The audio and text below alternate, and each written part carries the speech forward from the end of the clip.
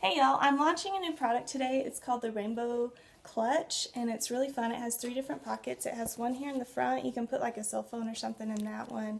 And then it has two zipper pockets, one big one in the middle and then um, a smaller one on the back for like odds and ends and things. And then most of them have this cool little tab on the side, which has my brand. It's really fun. And then you can just like hook your keys to it and you are ready to go. So I will have a link for them in the comments above. Um, go check it out. Thanks.